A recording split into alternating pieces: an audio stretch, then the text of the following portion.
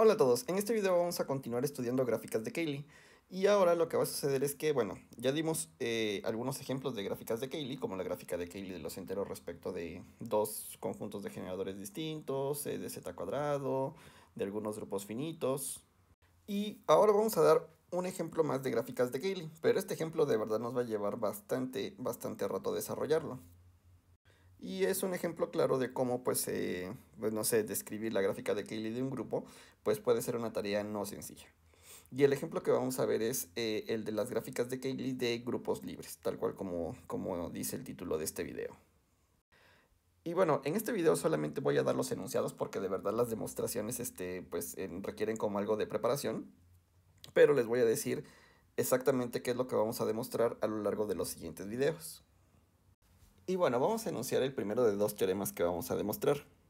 Y bueno, vamos a considerar F un grupo libre y además S un conjunto libre de generadores. O sea, no cualquier conjunto de generadores, sino concretamente un conjunto libre de generadores.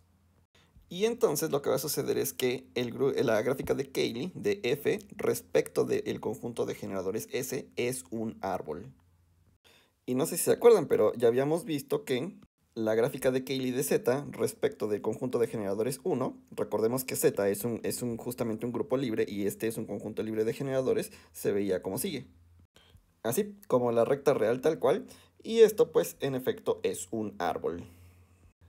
Y bueno, una vez que uno tiene este teorema, una pregunta natural es si el, em, si la, el converso es cierto. O sea, ¿qué quiere decir? Que si tenemos que la gráfica de Cayley de un grupo es un árbol, entonces la pregunta es si el grupo es libre y si el conjunto de generadores es un conjunto libre de generadores. Y bueno, un poco de manera decepcionante, la respuesta es no. Vamos a ver un par de ejemplos. Y el primer ejemplo consiste de el grupo cíclico en dos generadores, que lo vamos a pensar como los enteros módulo 2 y su generador es la clase del 1. Entonces, bueno, ¿cómo es la gráfica de Cayley de este grupo? Bueno, la gráfica de Cayley se ve como sigue. Tengo la clase del 0, tengo la clase del 1, esos son mis vértices porque esos son los elementos del grupo. Y para dibujar las aristas, pues bueno, el 0 lo tengo que atacar con el generador, lo que me manda al 1. Entonces tengo una arista así. Y bueno, el 1 lo tendría que atacar con el generador y pues me da eh, la misma arista. ¿De acuerdo? Recuerden que estas aristas, eh, las, eh, pues las aristas no las dibujamos dobles. Y listo, esta es la gráfica de Cayley.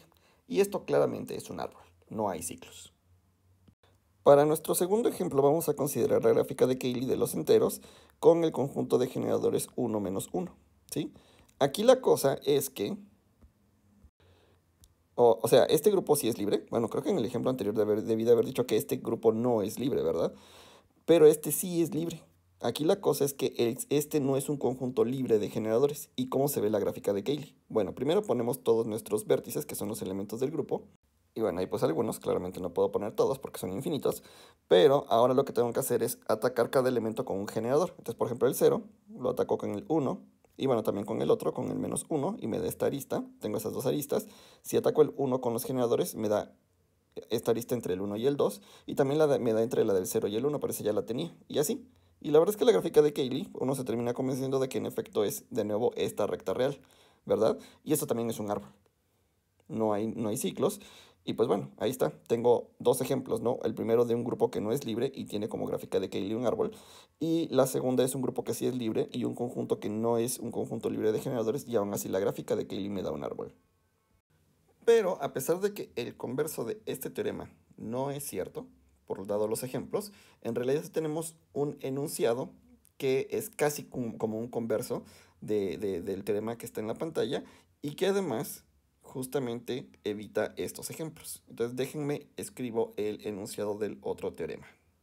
Y bueno, comenzamos con un grupo G.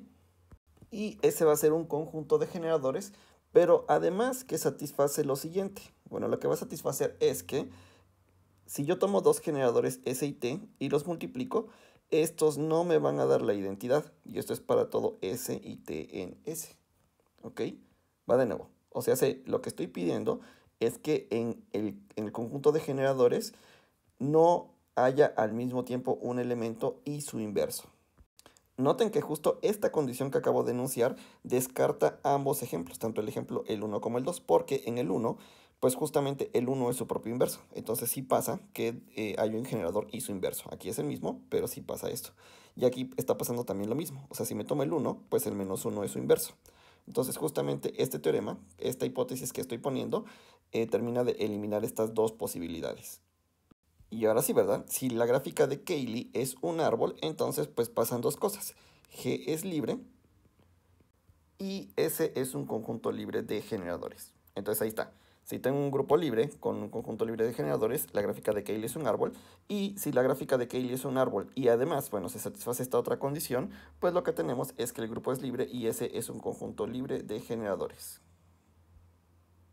Y bueno, nada más quiero decir rápidamente por qué intuitivamente estos, estos enunciados tienen que ser ciertos. Y lo que sucede es que habíamos dicho que un grupo libre es justamente un grupo que no tiene relaciones. Y recuerden que también las relaciones, pues justamente daban origen a ciclos. O sea, si yo tengo una relación, justamente, pues lo que va a suceder es que tengo así, ¿no? Eso es lo que habíamos, la imagen que habíamos hecho, ¿no? Que tengo un ciclo en mi gráfica de Cayley. Entonces, el hecho de que no tenga yo ciclos, que no tenga yo relaciones, pues justamente lo que me dice intuitivamente, va de nuevo, esto no es una demostración formal, intuitivamente que mi grupo no tiene relaciones, por lo tanto no es, eh, perdón, es un grupo libre. Y al revés, si es un grupo libre, pues justamente no tiene relaciones, entonces su gráfica de Cayley no tiene ciclos y por lo tanto su gráfica de Cayley es un árbol. Como les digo, esto es por intuición, espero que los haya convencido así en muy pocas palabras.